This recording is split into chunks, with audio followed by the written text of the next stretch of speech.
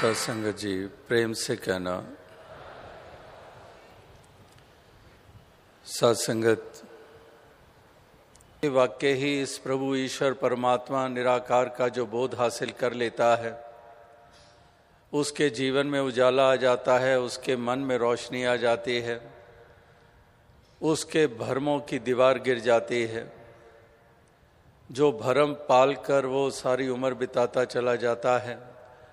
जिसके कारण ये दूरियाँ बनी रहती हैं, वो भ्रम जो हैं, उनका नाश हो जाता है। जैसे दीपक के जलने से अंधेरे का विनाश हो जाता है।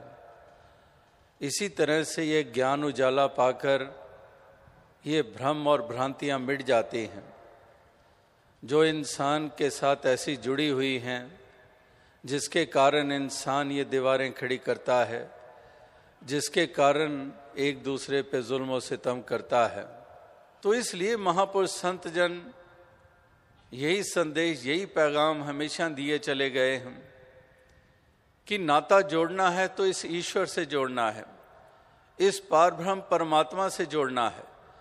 जितनी तीव्रता से हम संसार के साथ जुड़ते हैं, जितने हम लोभ लालच के साथ जुड़ते हैं दुनियावी आकर्षणों के साथ जुड़ते हैं, दुनियावी सामानों के साथ जुड़ते हैं।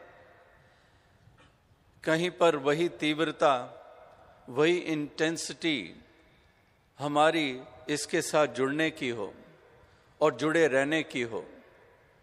तो वास्तविकता में हमारा ऐसा सुंदर वजूद हर किसी का बन जाए और जब इस तरह से इस रूप में जुड़ जाते हैं फिर हम इंसानों के साथ भी जुड़ जाते हैं।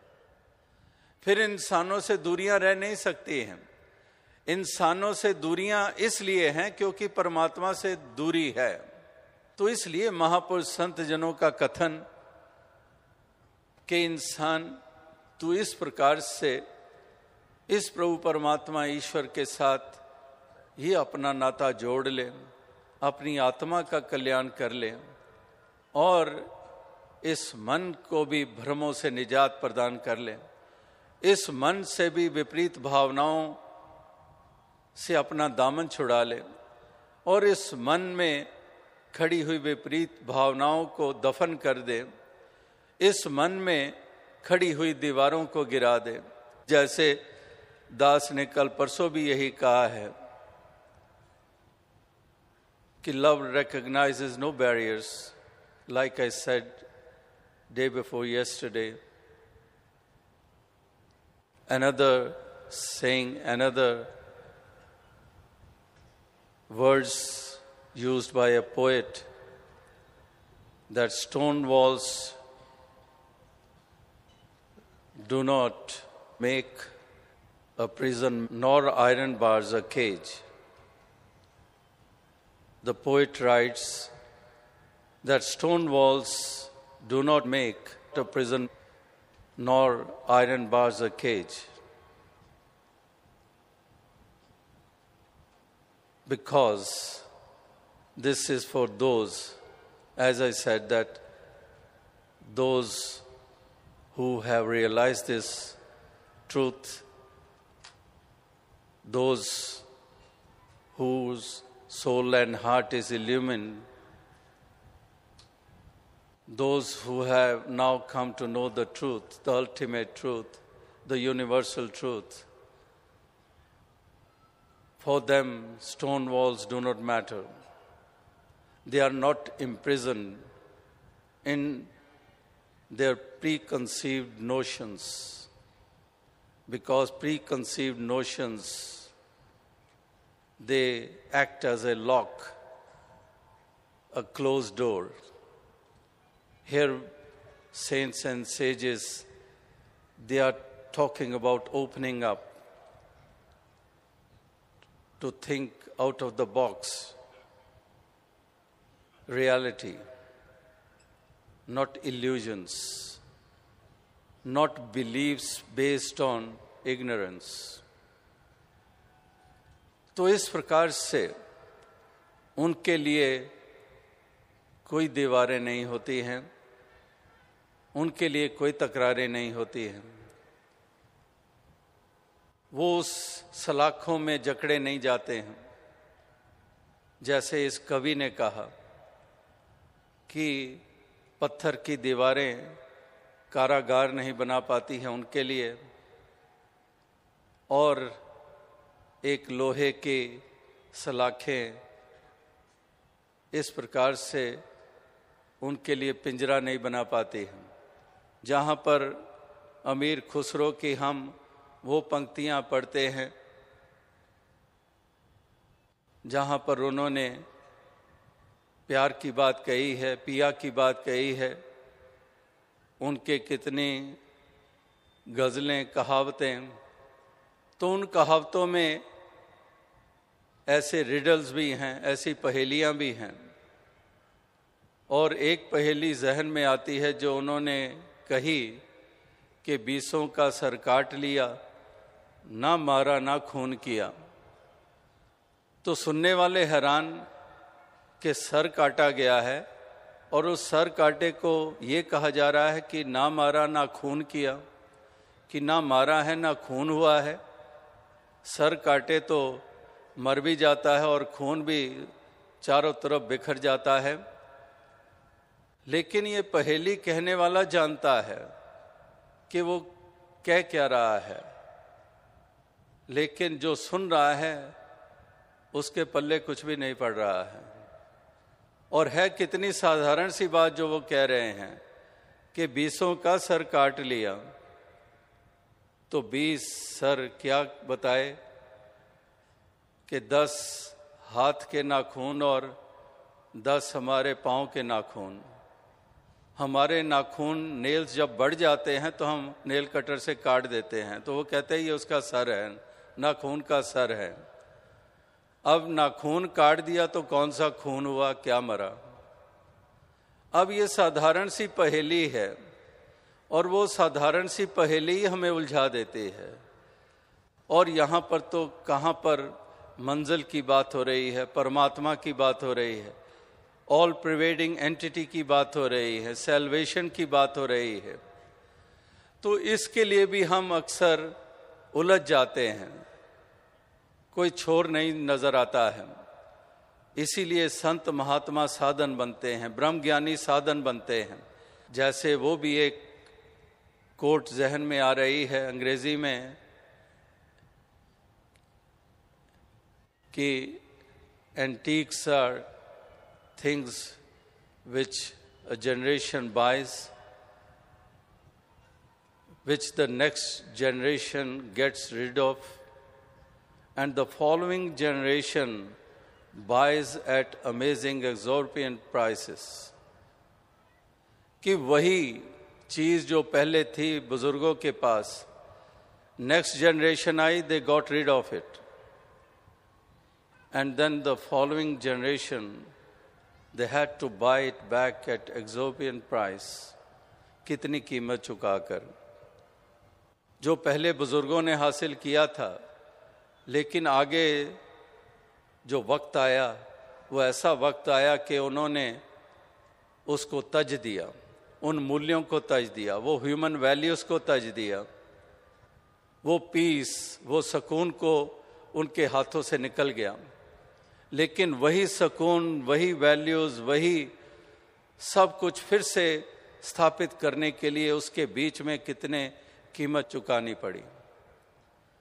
तो इसलिए महापुरुष कहते हैं कि सभी इस प्रकार से जागरूक रहें, कहीं पर ढील ना आने पाए, कहीं पर भी हाथों से निकल ना जाए, ताकि फिर से कहीं उसको हासिल करने में कितनी बड़ी कीमत चुकानी पड़े। इसलिए वो सस्टेनेबिलिटी बनी रहे, उसके प्रति सजगता बनी रहे, ताकि हमारे जीवन में हमेशा ही वो महत्व बना रहे, वातावरण सुंदर बने रहें, और चारों तरफ़ अमन हो, शांति हो, चैन हो। इस प्रकार से सभी के भावनाएँ उत्तम बनी रहें, जहाँ पर मिलवर्तन हो, भाईचारा हो, सहनशीलता हो, जिसको टॉलरेंस कहा जा रहा है। Today is 16th of November, which is dedicated by UNO as a day of tolerance. every 16th of November, this is this day is dedicated as a day of tolerance. And we are talking of tolerance, and we are seeing intolerance all around. As we heard the words of wisdom in these three days, too, that there is so much intolerance. And that's why we are seeing so much devastation. That's why we are seeing so much bloodshed. That's why we are seeing the breaking of families because the family members, if they are not tolerant to each other, the very fabric of a family that also gets shattered, and so does the happiness that also flies away like a bird flies away with its wings, and we are deprived of it. So, tolerance, saints and sages have always taught us to be tolerant. We have to coexist peacefully. We have to appreciate the differences. Saints talked about unity, not uniformity. Saints taught us the importance of unity. But what had happened and what has happened and what is happening,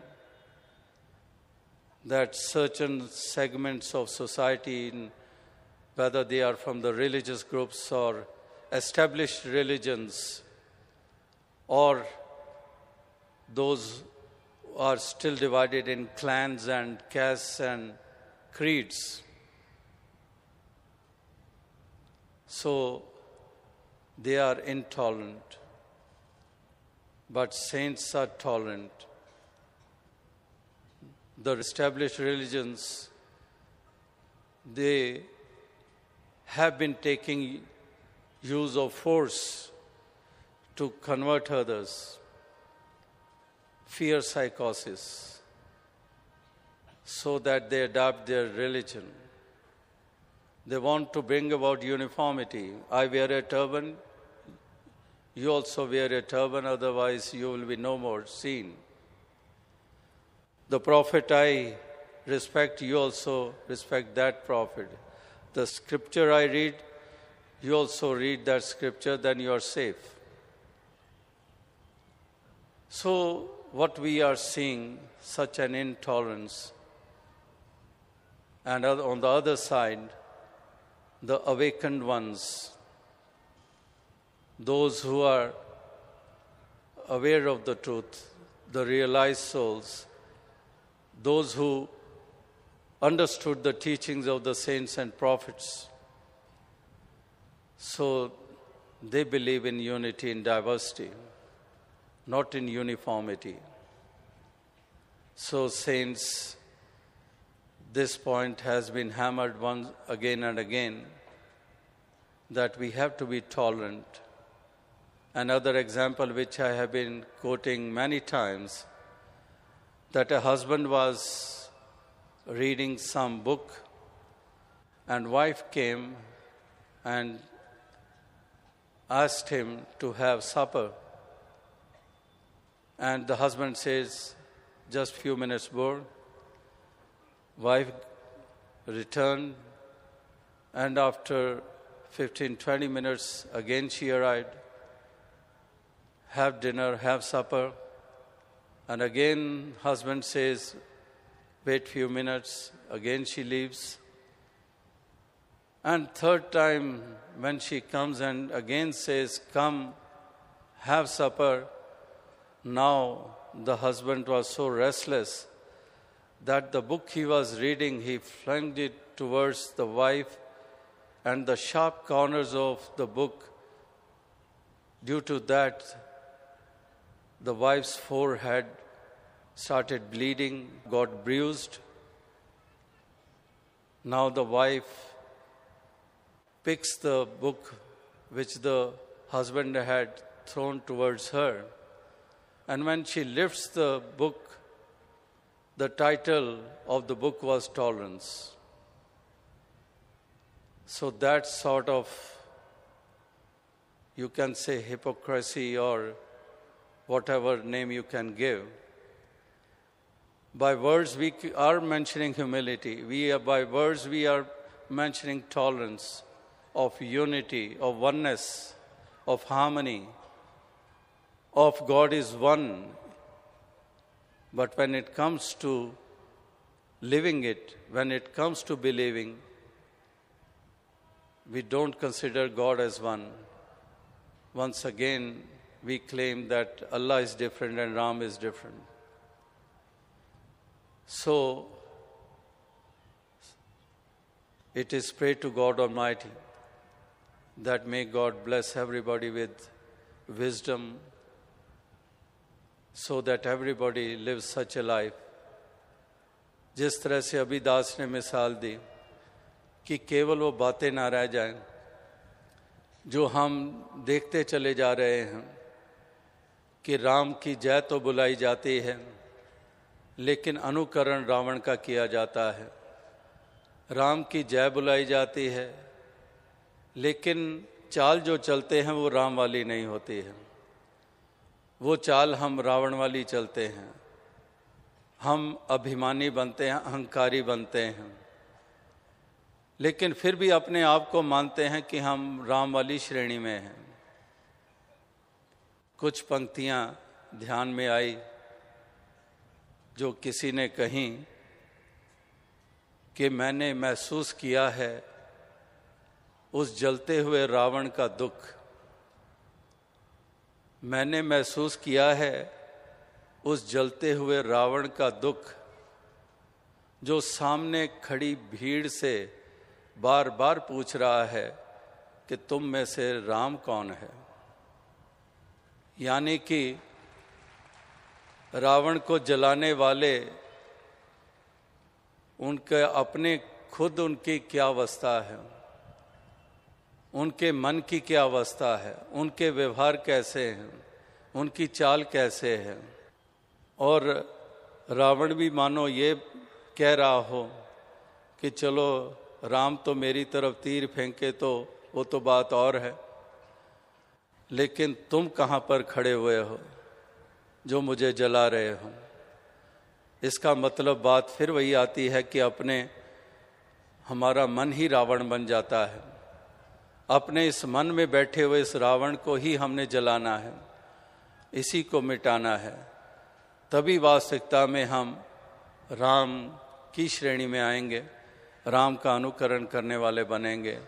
Ram का अनुसरण करने वाले बनेंगे। राम के सच्चे उपासक बनेंगे। तो दास और अधिक शब्दों का सहारा नहीं लेगा।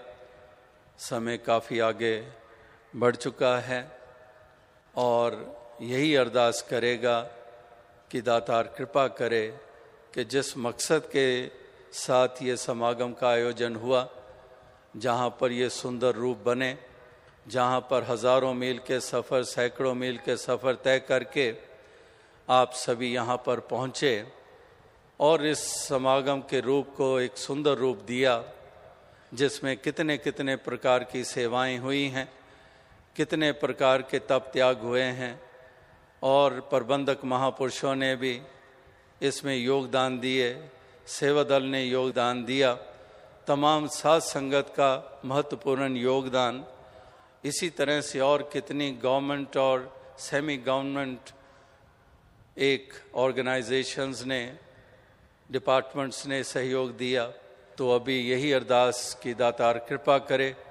आप अपने अपने घरों को लौटेंगे और यही जो यहाँ से महक आपने यहाँ स्थापित भी की और उसको और ज़्यादा मज़बूत करके अपने अपने घरों को लौटेंगे तो वहाँ पर भी यही मानवता इंसानियत को और मज़बूत करते चले जाएँगे, प्यार भरे वातावरण स्थापित करते चले जाएँगे और चारों तरफ़ एक सुंदर रूप देने में अपने योगदान देते चले जाएँगे।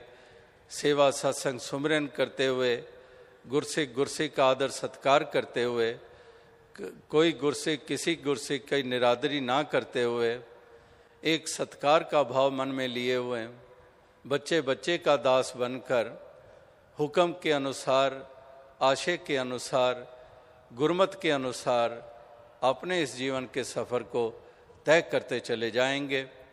यही एक शुभकामना, इसी प्रार्थना, इसी अरदास के साथ दास साहब से इजाज़त चाहेगा। सात संगत जी धन